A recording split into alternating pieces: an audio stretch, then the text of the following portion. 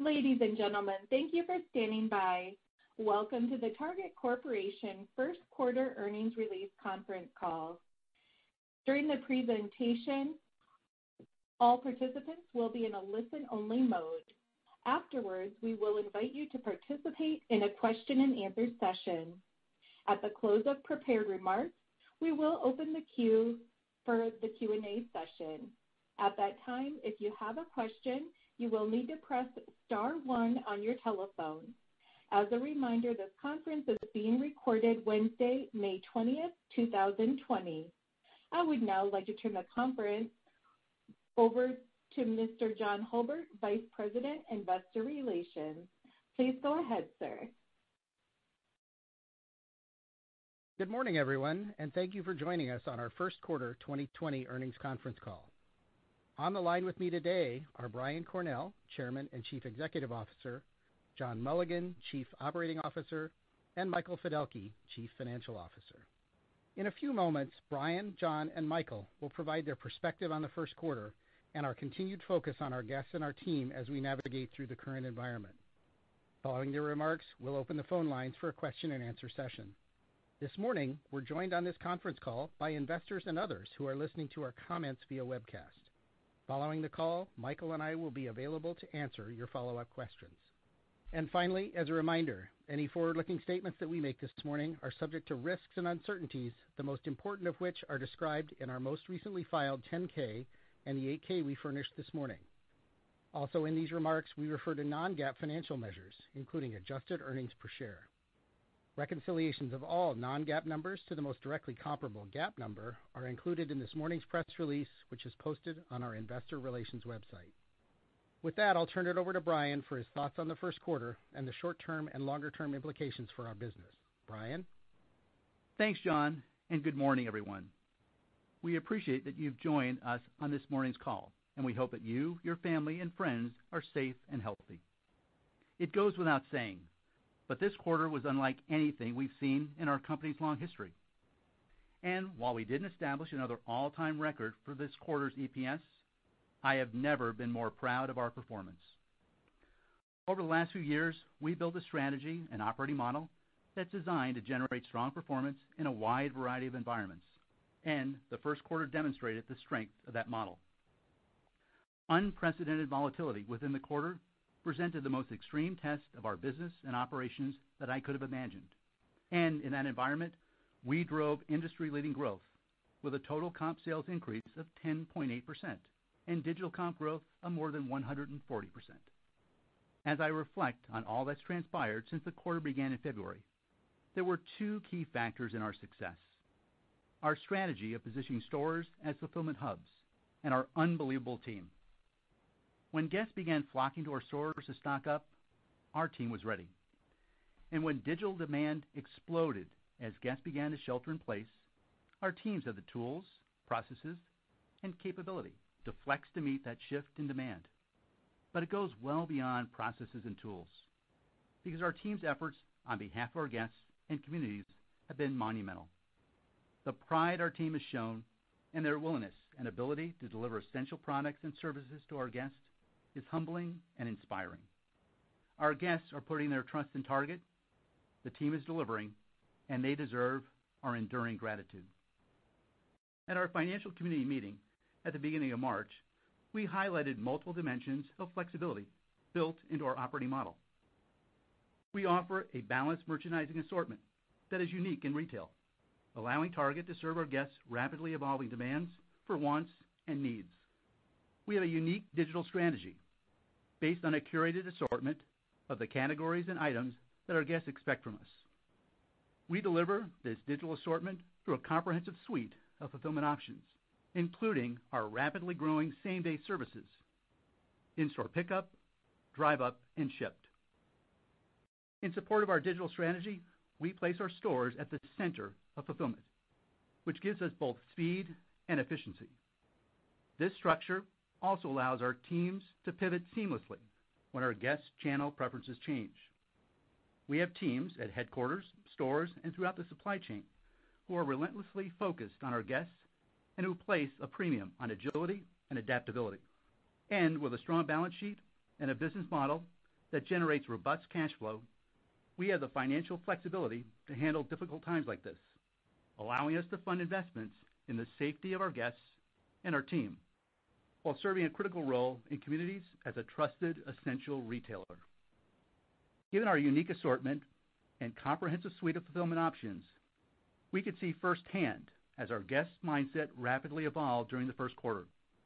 While it already feels like years ago, during the first three weeks of February, we experienced a relatively normal mix of sales across merchandising assortment and a typical mix of sales between our stores and digital channels.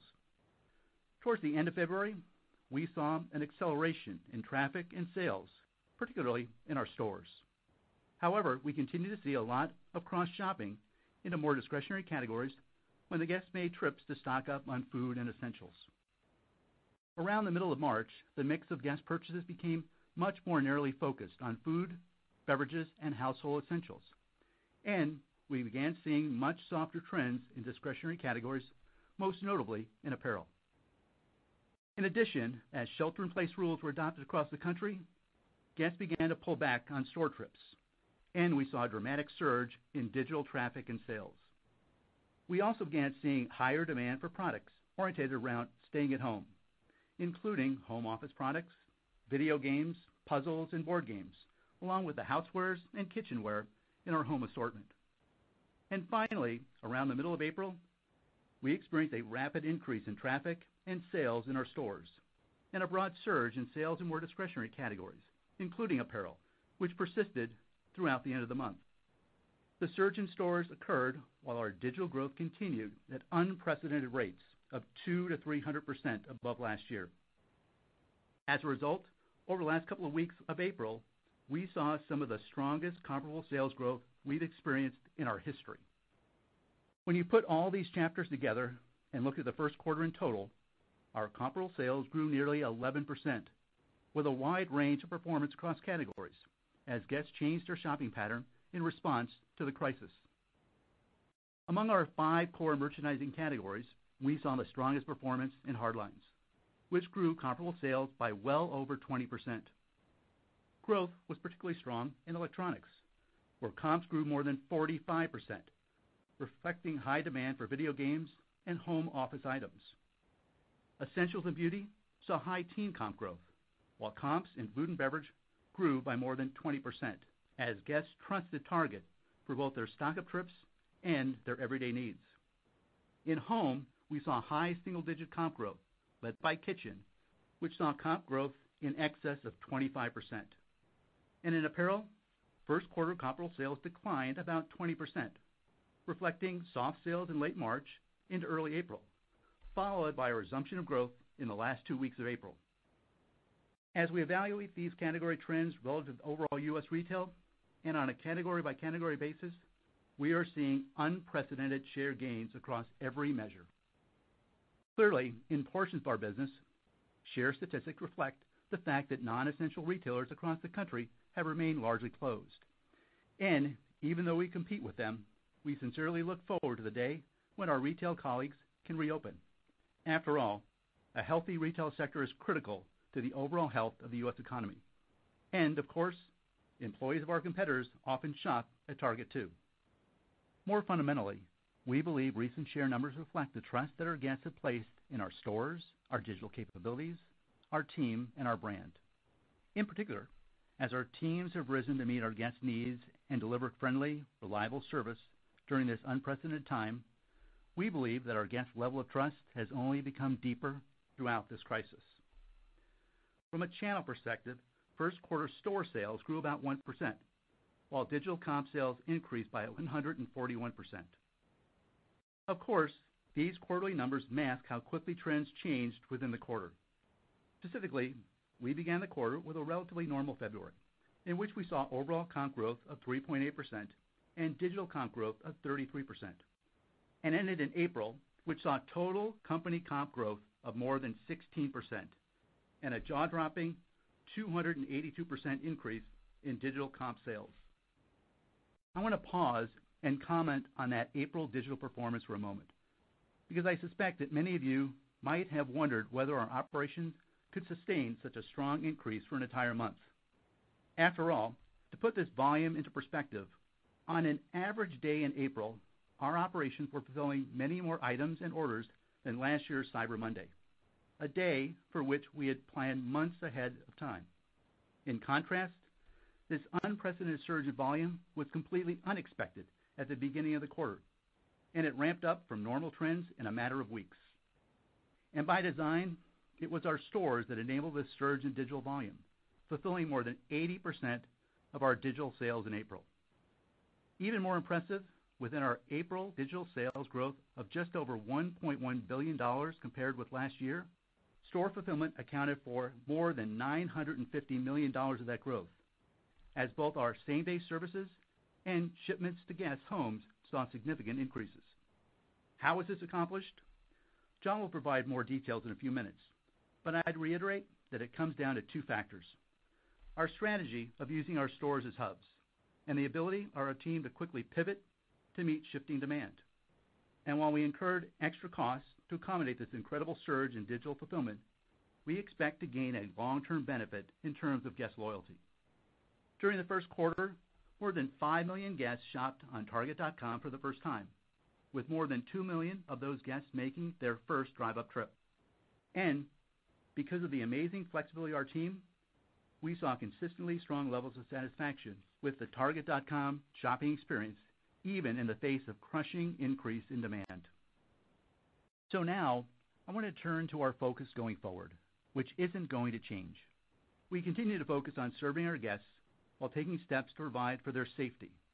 And we'll continue to focus on our teams, investing in their safety and their well-being, while working to remove obstacles and allow them to serve guests during this critical time. Throughout this evolving crisis, we have continually adapted our operations and processes to enhance guest and team member safety. Looking ahead, we'll continue to quickly adapt to changes in the environment and emerging guidance from the CDC and other authorities.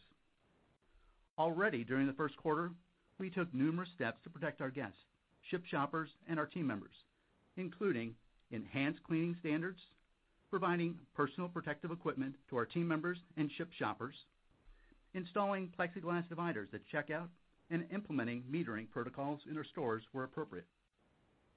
For our team, we rolled out a wellness checklist for them to perform before each shift and provided free thermometers to team members who needed them.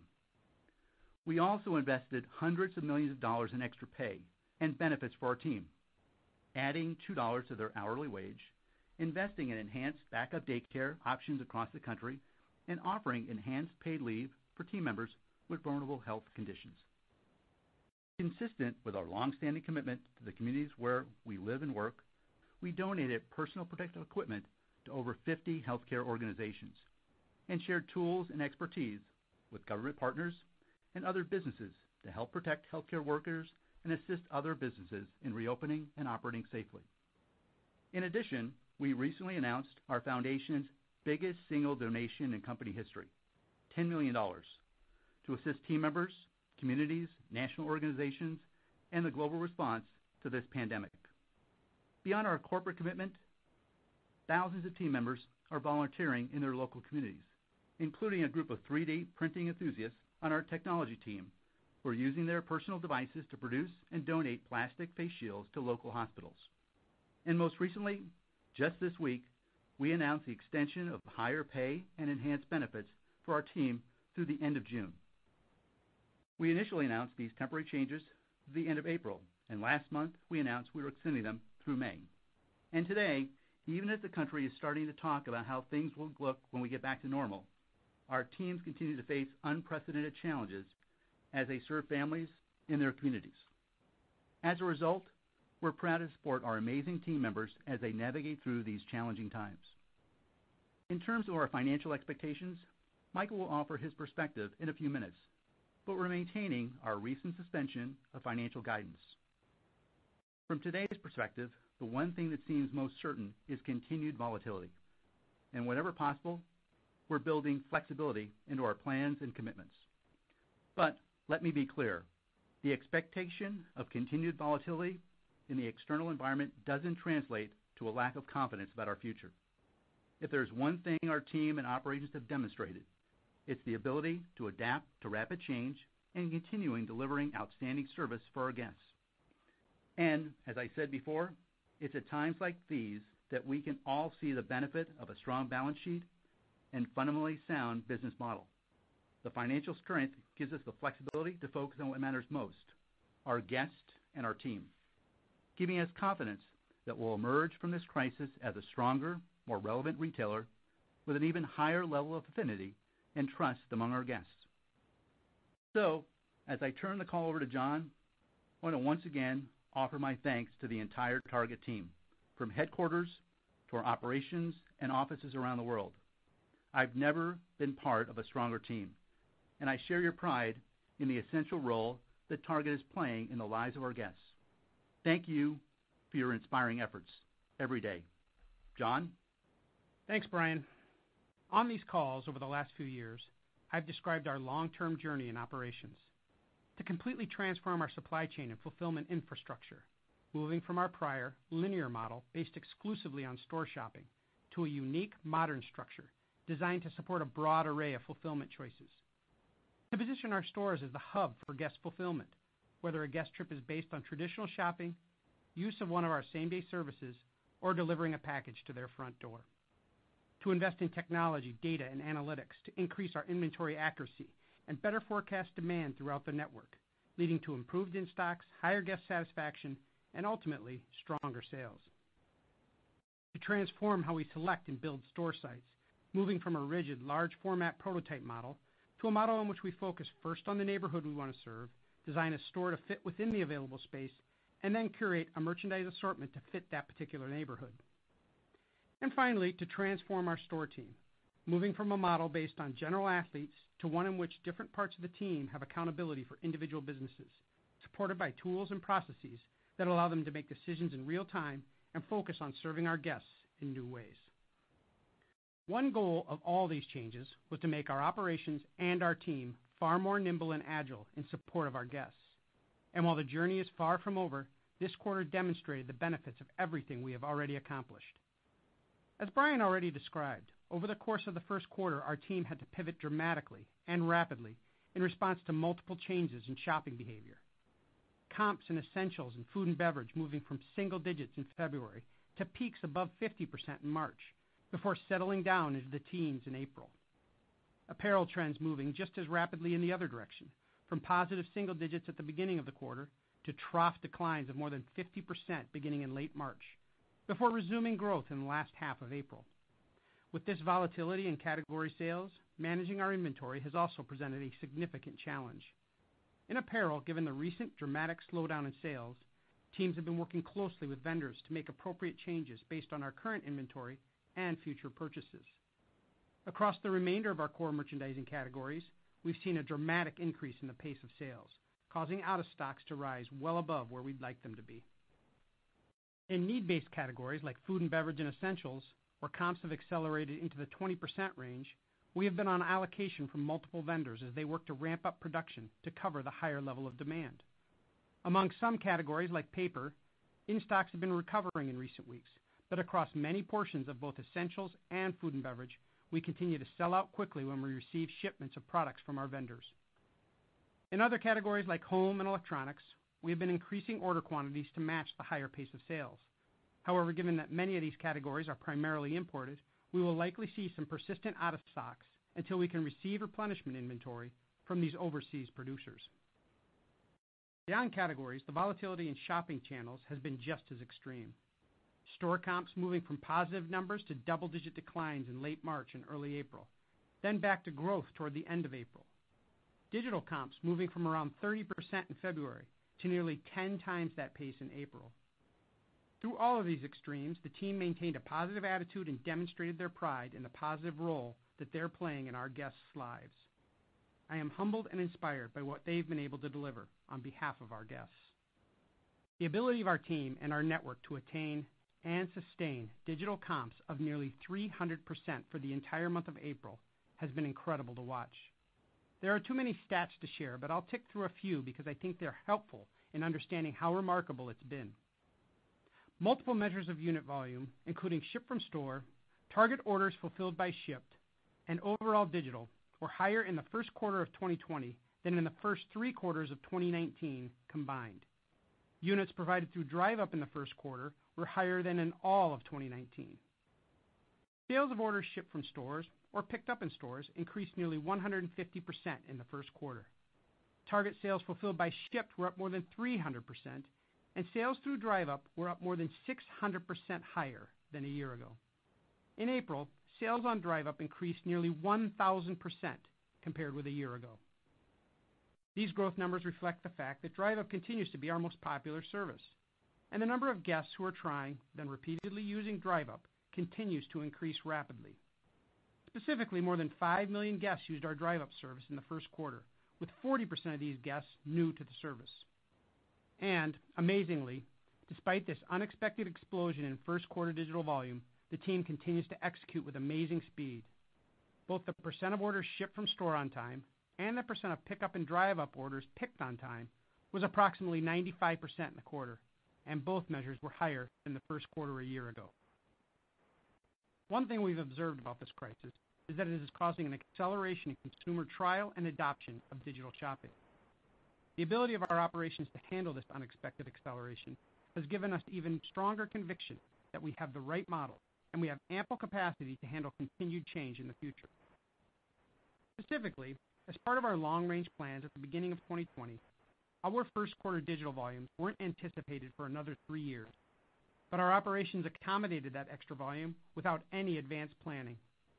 Like Brian said, it was an extreme test of our model and our team, and both performed admirably in the face of the challenge.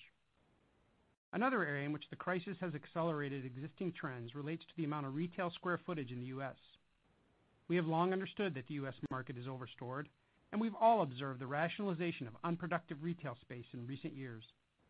But let me quickly say, we continue to strongly believe that the future of U.S. retail will be based on an omni-channel model, in which quality retailers will serve their customers through both physical and digital capabilities.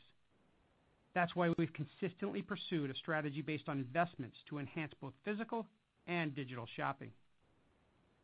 And while we have temporarily slowed down our plans for remodels and new stores because of the crisis, that doesn't mean we have less enthusiasm for these projects. Rather, we slowed down our plans for two specific reasons. First, we wanted to remove obstacles and distractions facing our team so they could focus exclusively on day-to-day execution in the face of extreme volatility across multiple dimensions of our business. Second, we adjusted our plans in anticipation of construction process changes needed to accommodate social distancing and other measures, which we expect to slow down timelines in some cases. In addition, we expect that more time will be required for inspections and permitting related to these projects, given the incremental demands facing local governments in light of this crisis. So while it is too soon to lay out longer-term timelines for our remodel and new store programs, we look forward to resuming these projects when appropriate. This will allow us to continue to transform our real estate footprint, both through modernization of existing space and the selective addition of productive new small format locations located in neighborhoods that couldn't be served when we only opened larger stores.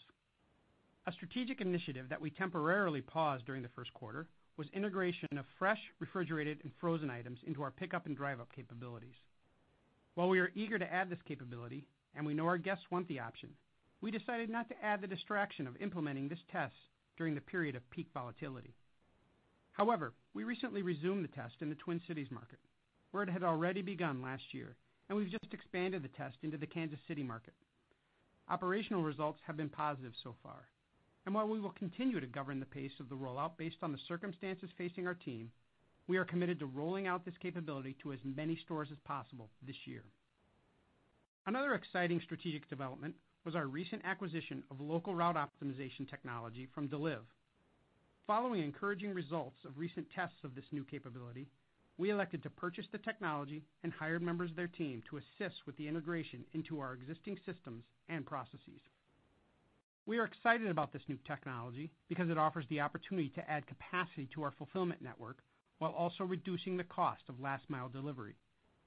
And given that last mile is the biggest cost driver within digital, the opportunity to control those costs will play an important role in our operating margins over time. With the benefit of this new technology, we can begin testing the addition of sort centers, downstream of our stores within our fulfillment network. These centers, which we expect to be smaller than our average store, will be placed downstream in select markets in which we have a high density of packages being sent to guests' homes. By eliminating the need to sort packages in the individual stores, the throughput of packages from these locations would naturally increase, and we can achieve lower average shipping costs through the scale and route optimization that these downstream centers would provide. Given that we only recently acquired this new technology, we don't yet have a timeline for this test. What I can say today is that we are planning to test the first of these centers in the Minneapolis market, and that we plan to follow our normal discipline of testing and iterating before we decide to scale up. So now, as I get ready to hand the call over to Michael, I want to end where I started and give a special thanks to our store, distribution, and fulfillment center teams.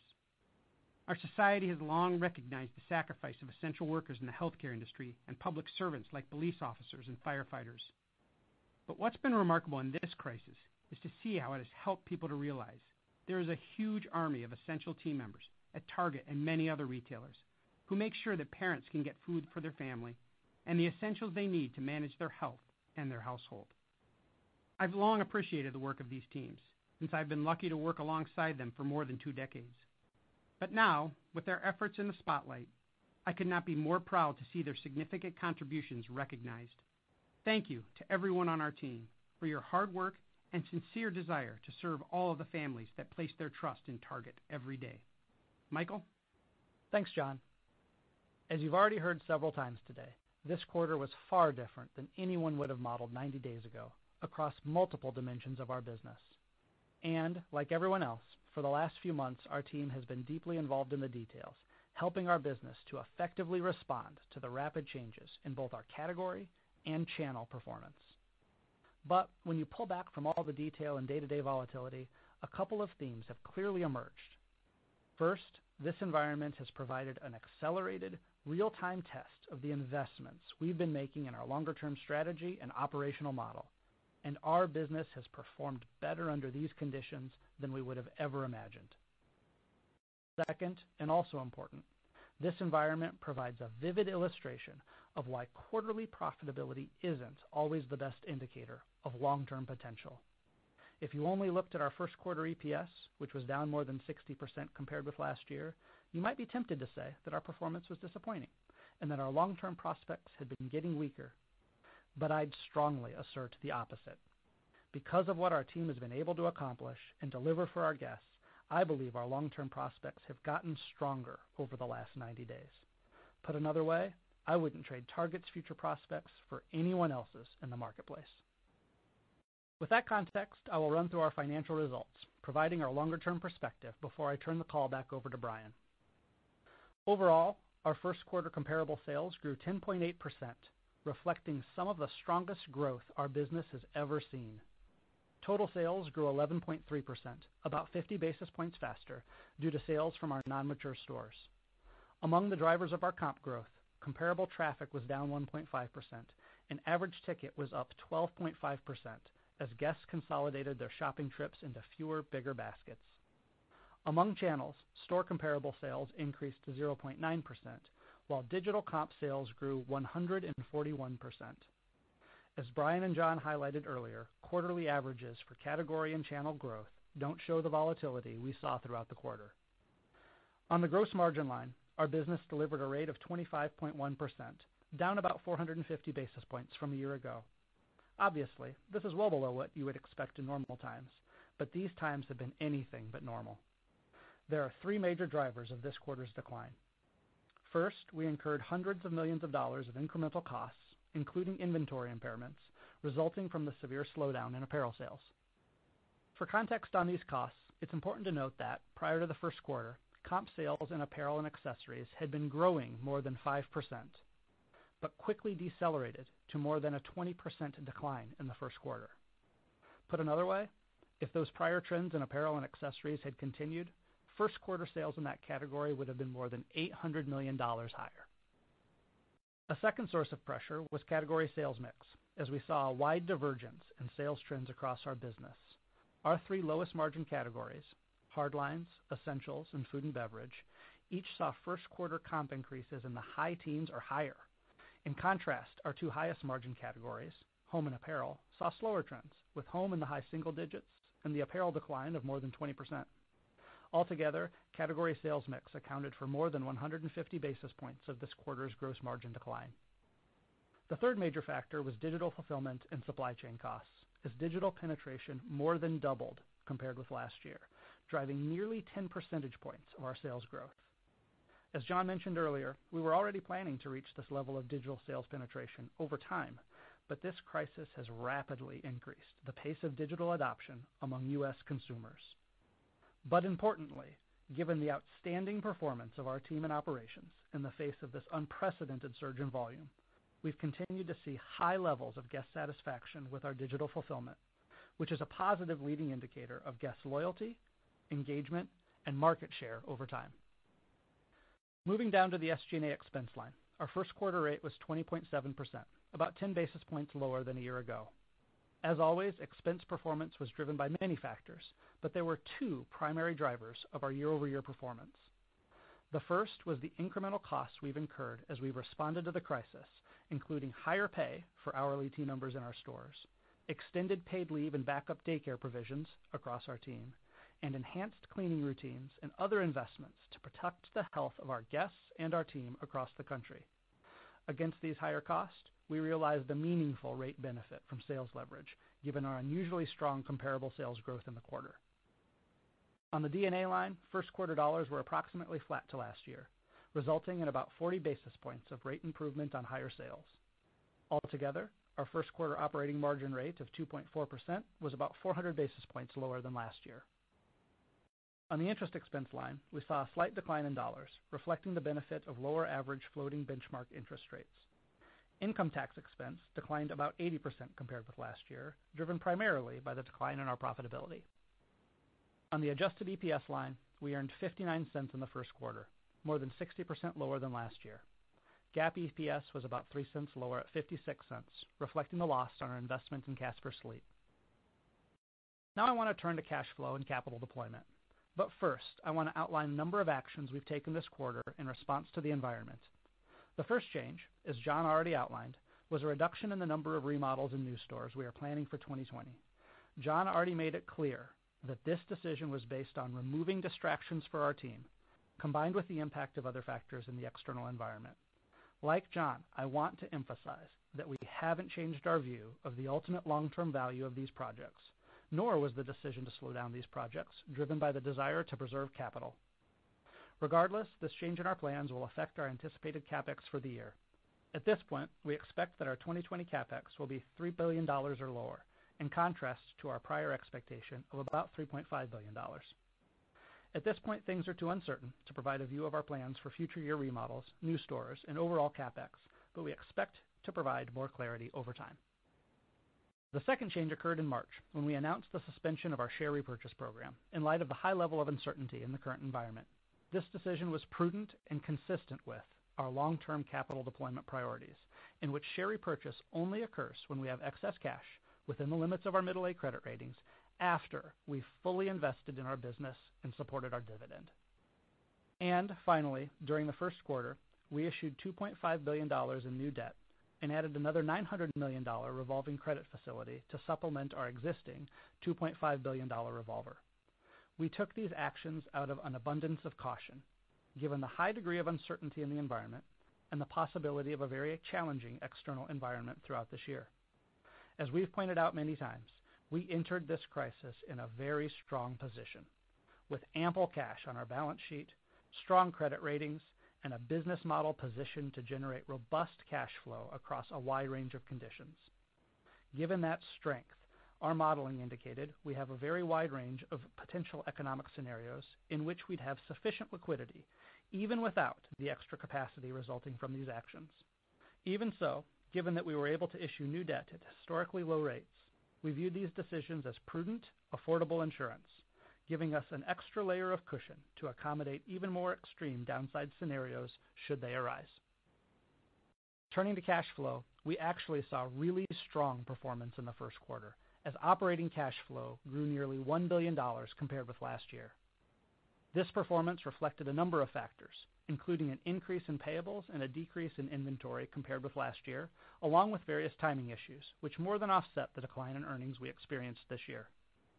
Regarding our inventory position, while the year-over-year decline looks good on the cash flow statement, it reflects the lack of availability and elevated out of stocks we're seeing in multiple categories.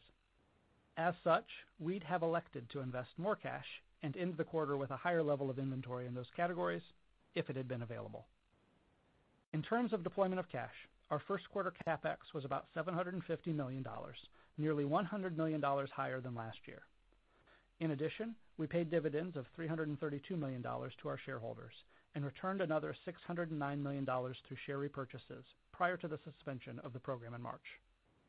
And finally, on the ROIC line, our business delivered a trailing 12-month after-tax return of 13.4% in the first quarter, down from 14.3% a year ago.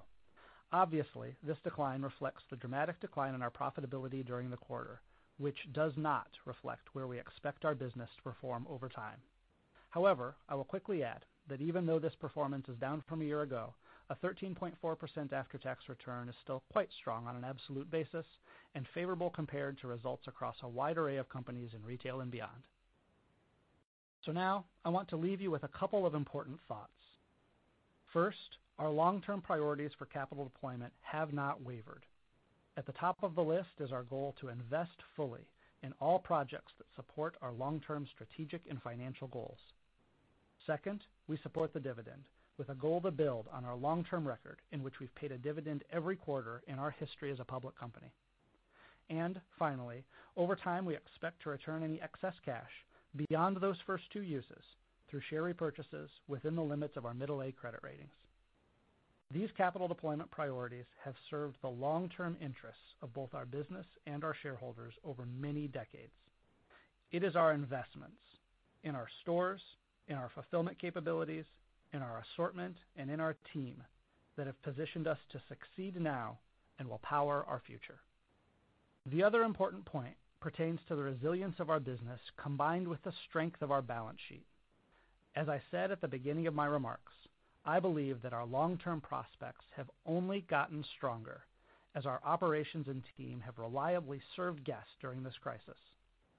Because of our multi-category portfolio, we were able to quickly pivot as guest demand evolved, from stocking up on food and essentials to focusing on home and electronics as they sheltered in place, until we saw a broad-based acceleration across multiple categories toward the end of the quarter. Because of our curated digital assortment and store-based fulfillment model, our operations and team adjusted seamlessly as guests increasingly chose digital fulfillment, allowing digital sales to account for nearly 10 percentage points of our first quarter comparable sales growth. And because of the strength of our business, we could afford to make hundreds of millions of dollars of incremental investments in team member wages and benefits, along with actions to enhance the safety of both our guests and our team. As we look ahead, we are focused on continuing to deliver for our guests and our team throughout the crisis while preparing to emerge strong and ready to play offense when our economy recovers. And we think the opportunities when that happens will be compelling. Unfortunately, this crisis will cause a lot of dislocation in multiple parts of the economy, including retail.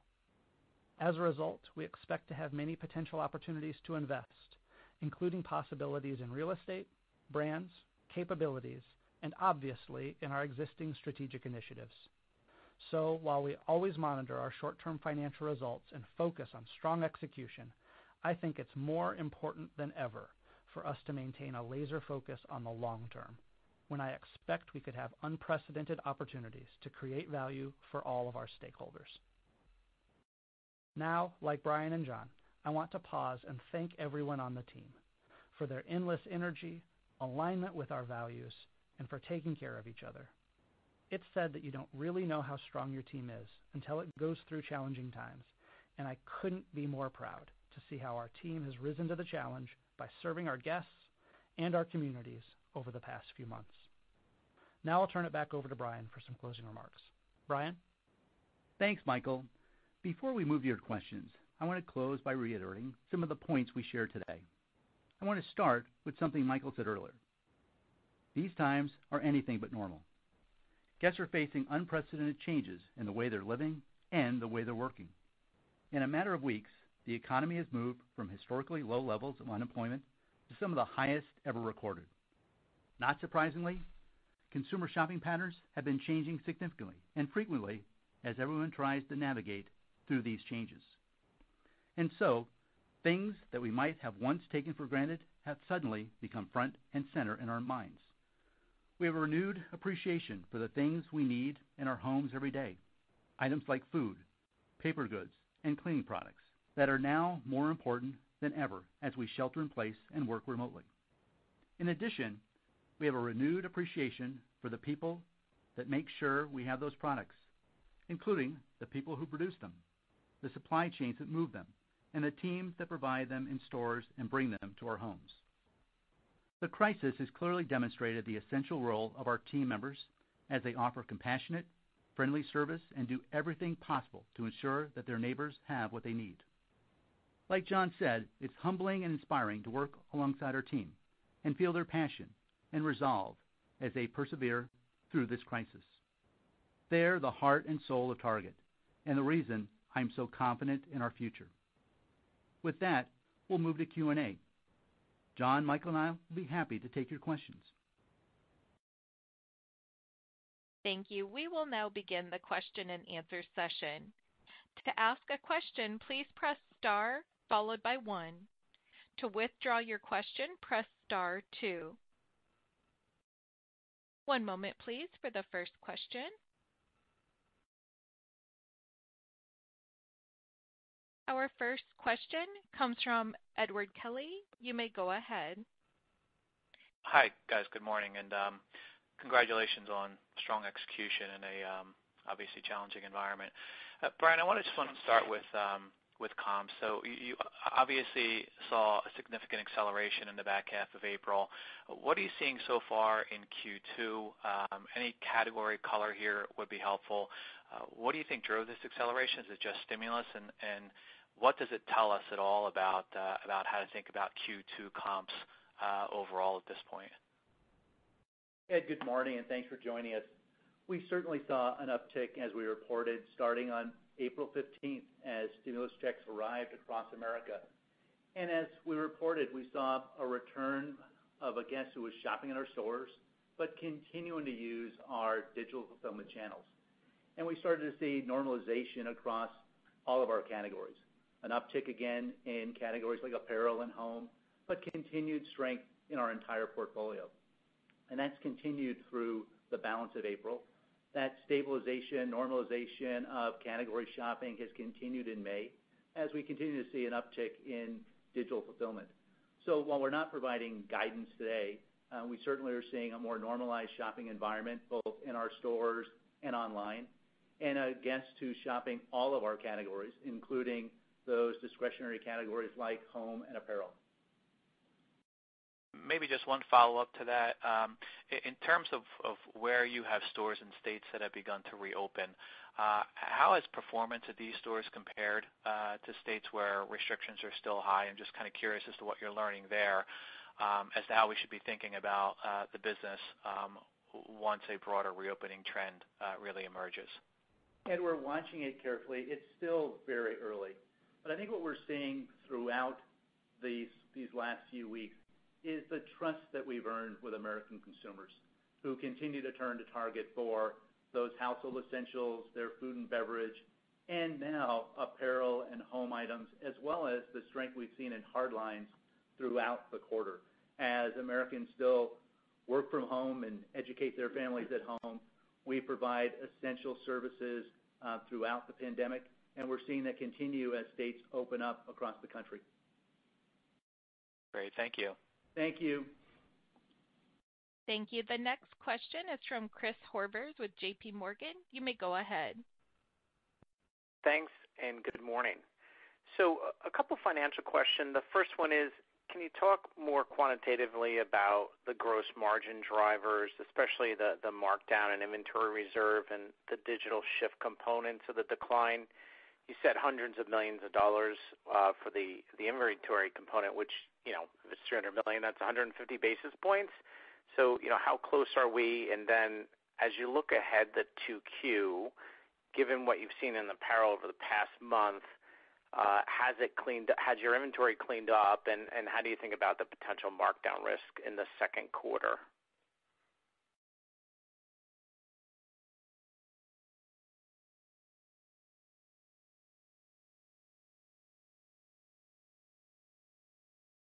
Please stand by. We are experiencing technical difficulties. You will hear silence until the conference resumes.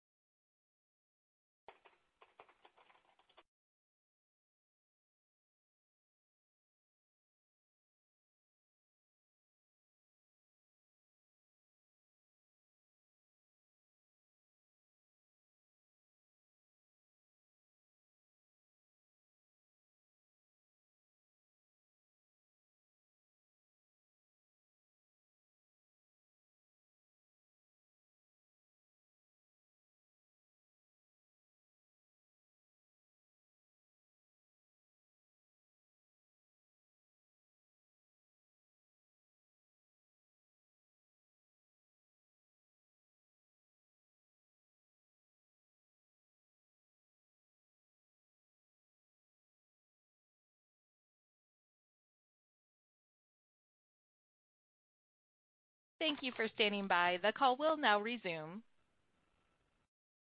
All right, Chris, can you hear me? Yeah. Well, the anticipation's very high, so. All right. I had a great answer that you heard none of, so I'll try to do my best, uh, paraphrasing again. Uh, to decompose margin a little bit more, um, if I had to dimensionalize it into the three biggest drivers of what we saw in Q1, the first would be Um, a set of merchandising actions that we took throughout the quarter, and the biggest of which, to your question, was the inventory write-downs and adjustments that we made, especially in apparel, given the deceleration we saw in uh, apparel throughout uh, the better part of Q1. That's probably the biggest factor. And then as I mentioned in my remarks, category mix at about 150 basis points would be the second biggest factor. And then the third would be Uh, the pressure from supply chain in general, and there's a couple of things there. Um, a portion of our investment in the team shows up in margin because supply chain labor shows up in margin, and then the mix shift to digital is there as well. But I think it's worth pausing for a moment on that uh, mix shift to digital and the rate pressure that comes with that, because I want to spend a second on how I think about digital economics, because I think there's real risk in over-rotating on the profit rate headwind that shows up there for a couple of reasons.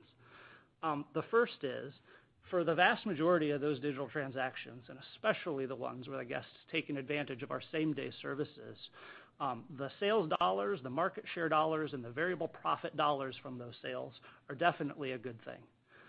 Second, and this is most important, the economics of a digital transaction, as I've said before, are so much bigger than just the single transaction. When we see guests engage with more of our fulfillment choices, they become stronger customers of Target, and we build relevance with them in total. And that's where the economics of digital get most powerful. As I referenced in the financial community meeting discussions uh, a few months ago, when we see a guest use Drive Up for the first time, they spend more at Target in total, and even more in store than they did previously. And so there's a powerful accelerant of guests becoming stronger users of all of our services. And we had 2 million guests use Drive Up for the first time in this quarter. And so the long-run prospects of that digital growth in terms of what it means with relevancy to our guests, I think are very powerful. Chris, it's Brian. Why don't I talk a little bit about Q2, and I'll answer your question, but probably a question that's on everyone's mind right now.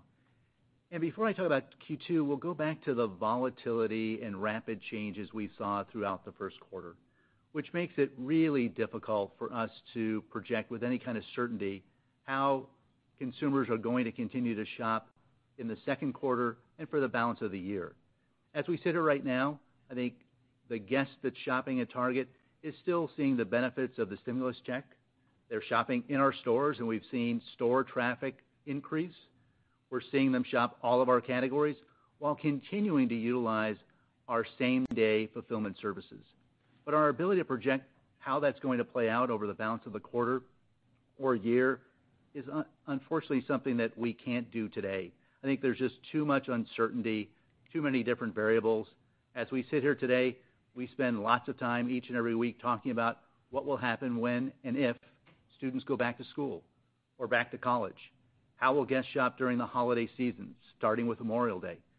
It's all to be determined right now. And one of the things that I think we're most proud of as we think about our first quarter performance is how we've adapted week by week, almost day by day, to the changing consumer needs. And the flexibility that you've seen in our system is something that we'll lean on throughout the balance of the quarter and the year. But I know everyone's anxious for us to provide a perspective on the second quarter and the full year. Unfortunately, our perspective right now is that we have to be flexible, we have to be adaptable, we have to continue to meet changing consumer needs, and I think we've demonstrated the ability to do that in the first quarter. I guess just to push a little bit on it, I mean to the extent that, uh how did you as you booked that inventory reserve, uh I mean how did you think about the ability to take some of that second quarter risk down? I mean, is there a scenario where you could see you know, that that gross margin impact from clearance be anywhere near uh, what you just experienced in the first quarter? Yeah, what I'd say, Chris, is this is what our teams do each and every day. And so we react to changing trends and take inventory actions appropriate. I'd give just a huge hats off to our merchandising teams who have worked through the volatility in sales trends throughout the quarter, both the softness in apparel that leads to some of the write-downs we're talking about in Q1, but in every category that's seen trends deviate from history in such meaningful ways. Yeah. And said another way, Chris, I think we feel very good about our inventory position as we go into the second quarter. Understood. Thanks very much, guys. Thank you. Thank you. The next question is from Ed Yruma with KeyBanc Capital Markets. You may go ahead. Hey, good morning, and thanks for taking the question. Uh, you guys have done an incredible job ramping Drive Up. I guess as you kind of assess the service today, what are the key limiters in enhancing throughput there? Is it uh, staffing levels, uh, social distancing, or is it is it literally like the physical parking spots? And I guess as you think about ramping it into a more normalized environment, Um, what's your expectation on keeping some of those customers that are that are trialing it right now? Thank you.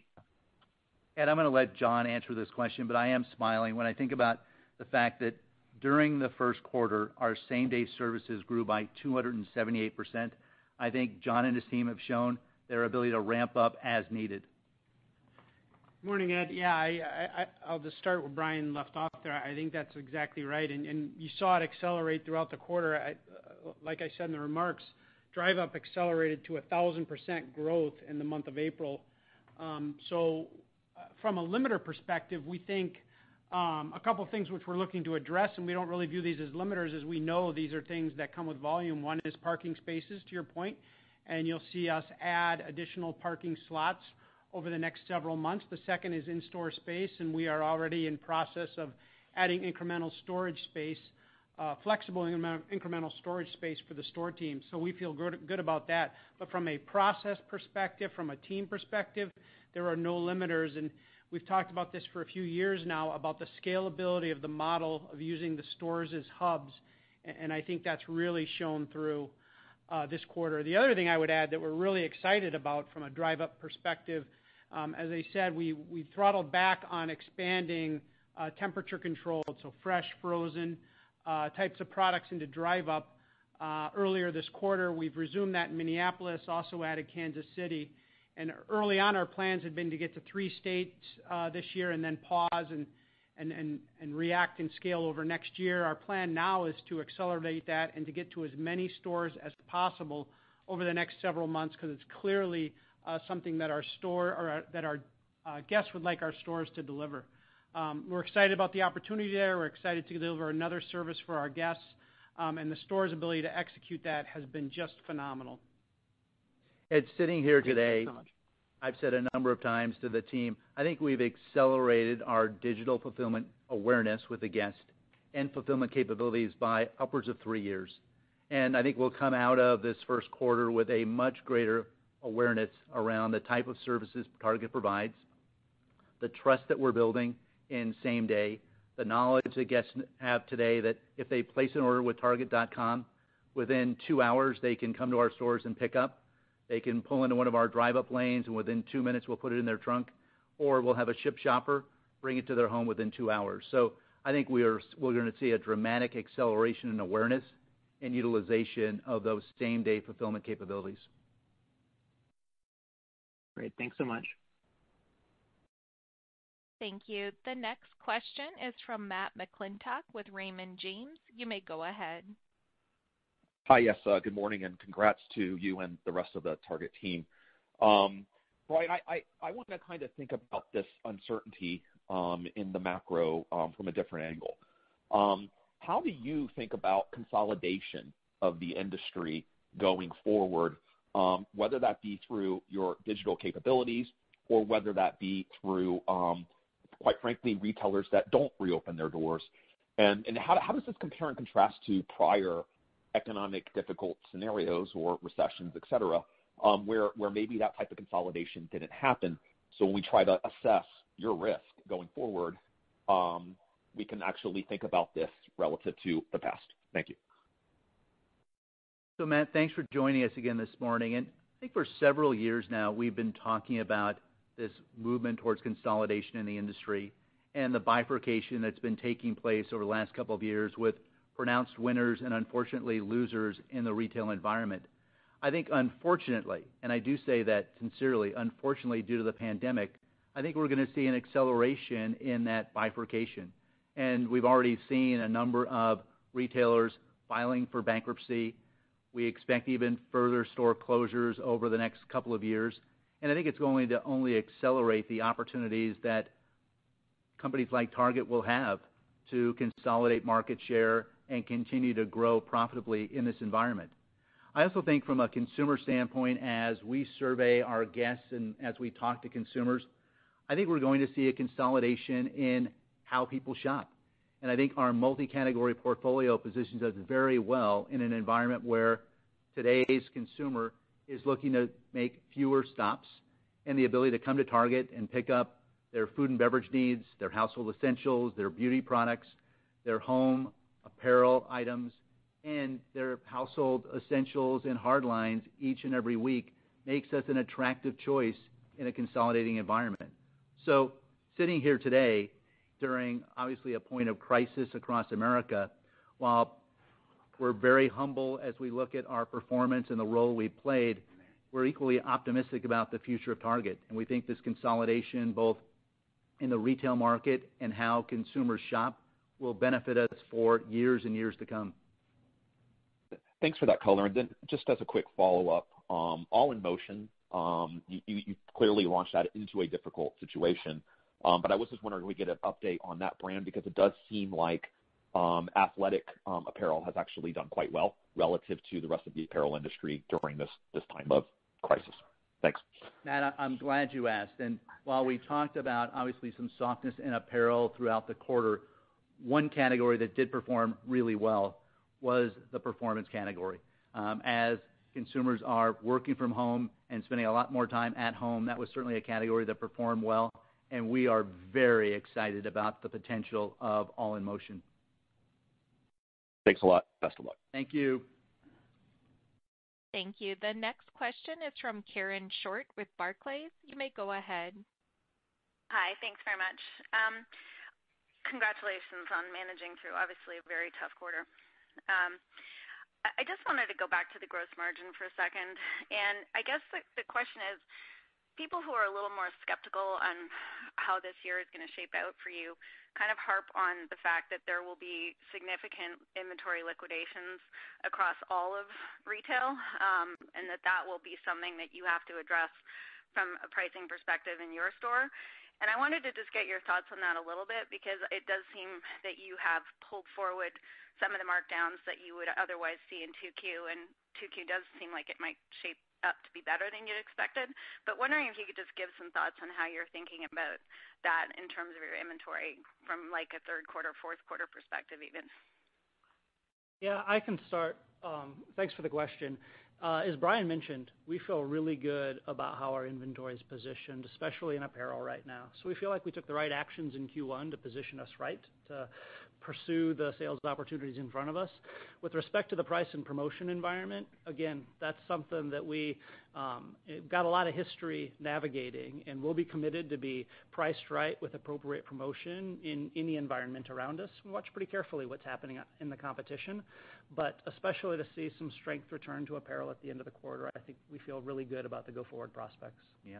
And Karen, one of the teams that we really need to acknowledge um, as we sit here today is our Target sourcing team, who throughout the quarter has done a terrific job of some points you know, canceling and then chasing inventory as we've seen changes in trends. And the relationship we have with our own brand vendors, the strength of our vendor matrix that uh, supports us each and every day is something that's really put us in a unique position. And that sourcing team is one of our key capabilities that allows us to adjust to market needs.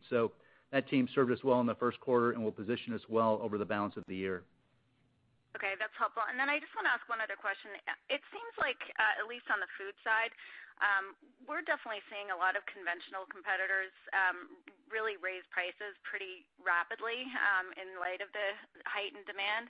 And you guys seem to be holding price points or price positioning. So, can you maybe provide a little color on how you think that might be helping you gain share? Because it does seem like the price gaps have widened to unprecedented levels. And I say that on the food side specifically. Sure. Karen, as you've heard us talk about for a number of years now, we're committed to being priced right daily, each and every day. And that includes during this pandemic and as we go into the second quarter, and it certainly includes our food and beverage categories. We've seen very little change in our everyday pricing um, throughout the quarter. You have seen a reduction in promotions based on obviously limited supply of certain products, but our commitment to delivering great value to our guests in food and beverage and in all of our categories persists as we sit here today. Great. Thanks. Thank you. Thank you. The next question is from Simeon Gutman with Morgan Stanley. You may go ahead.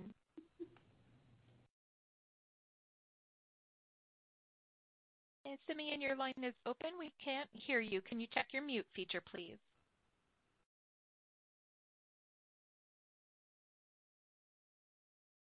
And we're not getting a response. I'll go to the next question. Operator, why don't we move on and perhaps we can come back to Simeon later. Thank you. Our next question is from Paul Lejuez with Citi. You may go ahead. Thanks. It's Tracy Kogan filling in for Paul. Um, two questions. I was wondering about the new customers you said uh, you've gained during the quarter. Um, is there any particular demographic group you're attracting? And then I was also wondering what you've seen um, with repeat purchases from those customers. And then I just had one follow-up. Thanks. Yeah. So Tracy, we talked about the fact that we saw 5 million new guests use target.com. John talked about the number of new users for Drive Up, 2 million new Drive Up users during the quarter.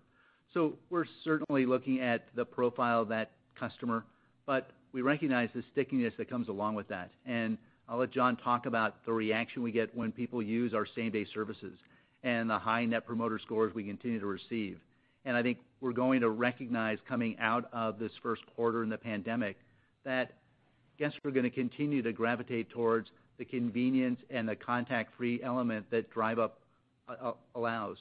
So we're seeing a great response, lots of new uh, guests using target.com and Drive Up, and we'll expect that to continue over the balance of the year.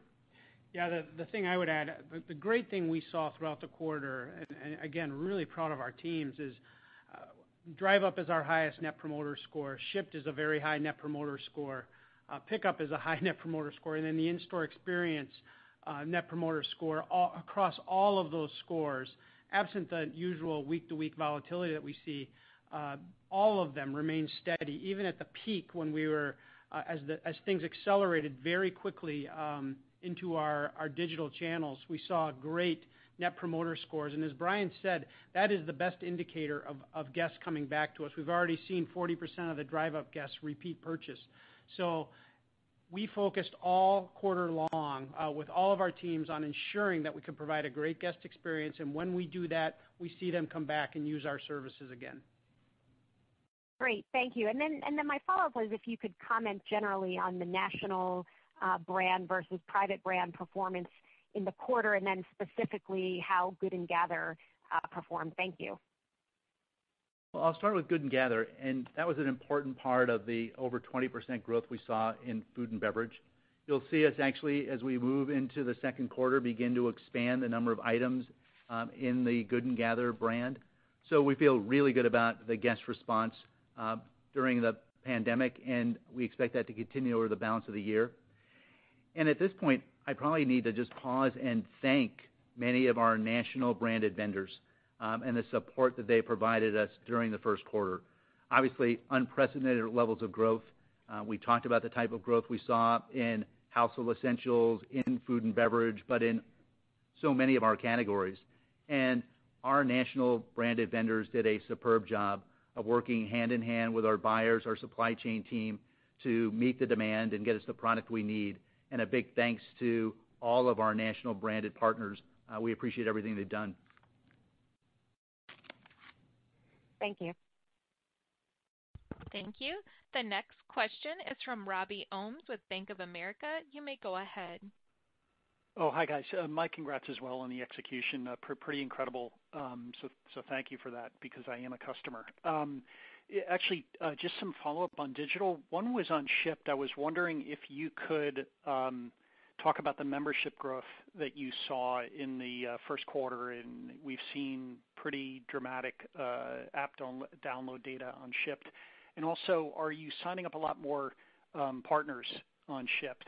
And then um, my follow-up would just be um, you know, maybe for Brian or John or Michael. Um, just with this huge digital volume, are there anything you're anything you're learning about whether it's going to be tougher or easier over the long term as you average out at much higher digital volumes? Um, are you seeing new ways to get the profitability up that maybe you weren't seeing before this big ramp-up in volume?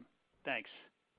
So Robbie, why don't we let John start by talking about the outstanding performance we saw with Shipt, and then we'll come back and talk about digital profitability over time. Morning, Robbie. Uh, good to talk to you. Um, Shipt, uh, consistent with everything else we've said about digital, has seen saw significant acceleration, and they and their team did an outstanding job uh, hiring into that or uh, uh, getting Shipt shoppers. Order volume over the course of the quarter for Shipt the business independent of Target's portion of that order volume was up two times. In April, it was up three times.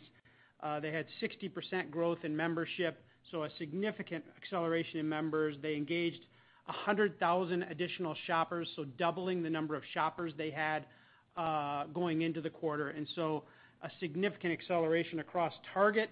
Uh, we saw a 300% increase in sales uh, to last year through our Shipt channel. So again, significant acceleration there. And like I said on the previous probably perhaps most importantly, the NPS score, very, very high, and they maintained that throughout the quarter. A few dips when sales really accelerated quickly within a week to 10 days. But beyond that, uh, the team did an exceptional job and really getting shoppers to meet that demand. And so we're really enthusiastic about the Shipt performance and encouraged by what we saw. And I can maybe just chime in on the prospects for increased efficiency over time. Um, we've seen across wherever we've had growth, whether it's the growth in Drive Up over the last several years, Order Pickup, volume helps us. And with volume, we can bring efficiency.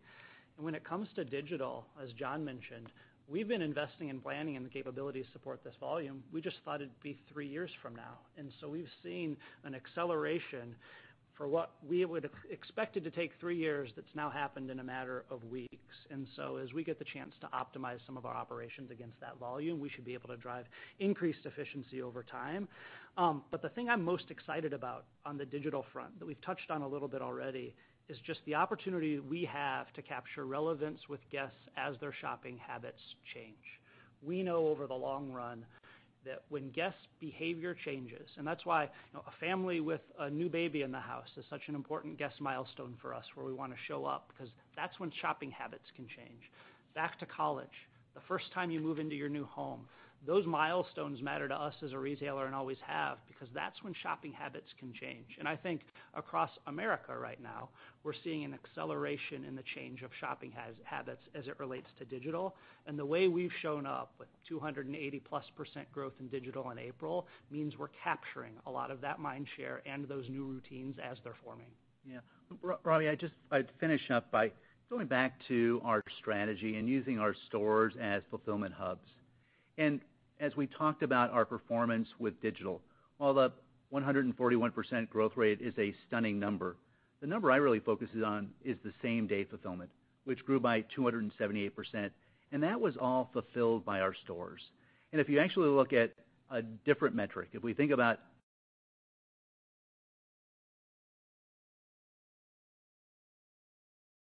9%, it means our stores are driving tremendous productivity, and they are the center of our strategy.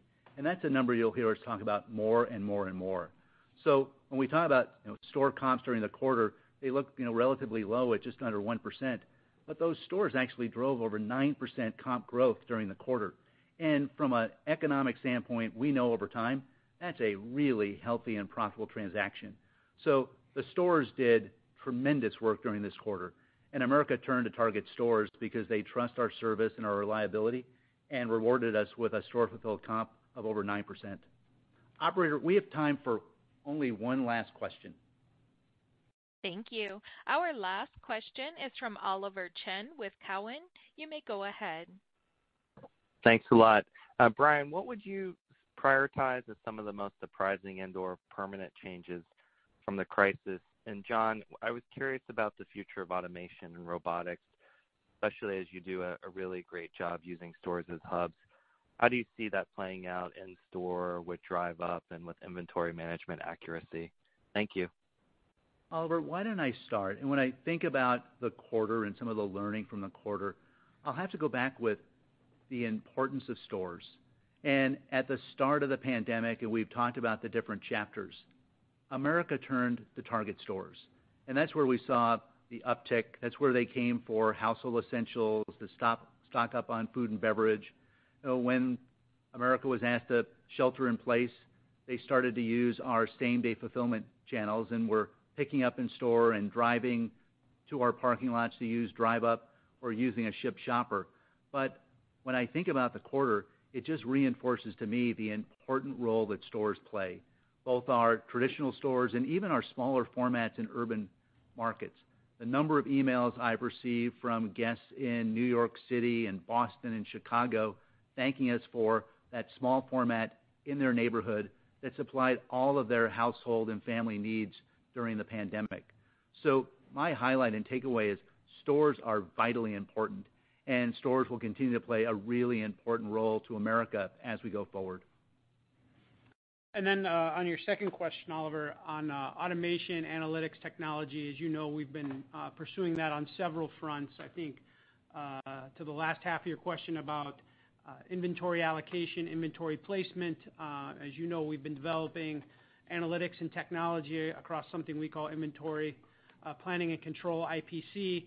Um, we're about a third of the way into that deployment. We paused much of that for this quarter.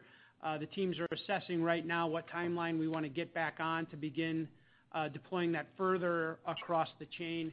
Um, we feel really, really good about the opportunity for us to improve what we're doing from an inventory placement um, with that technology and analytics. And then from an automation perspective, uh, we've talked about we had analytics or an automation pilot going on in Minneapolis, also at Perth. In uh, Minneapolis, we actually deployed that automation to four more locations. We have not started that up yet uh, because that will require some travel, and we will uh, take the safety of our teams into account as we think about getting back into the travel game. But when we are able to do that, we'll get that to four more locations this year and then continue to expand. Out of Perth, the teams have made great, great progress here, even while we haven't been able to get into that building. Um, when we do get into that building, we'll do some final testing to scale it out and then begin, uh, uh, as I said a couple of months ago, to think about where we deploy that next uh, somewhere within our network in an existing facility. So you'll see us continue to expand automation. When it comes to store automation, I think we've shown the ability to scale very very rapidly with our teams and with the technology that we have provided them. And so we feel very, very good about the productivity and scalability and reliability of our current processes and teams, and we'll continue to explore other avenues as we go forward to improve that. So, to John's point, automation will be important, Oliver, but as we sit here today, I think the most important thing to focus on is execution. And I think in this environment, we've earned the trust of American shoppers with great execution and our commitment to providing a safe shopping environment. And you'll see us continue to commit to safety and trust Um, as we go forward over the balance of the year. So Operator, that concludes our call today. I want to thank everyone for joining us. I hope you stay safe and healthy, and we look forward to the day when we can be meeting again face-to-face. So thank you.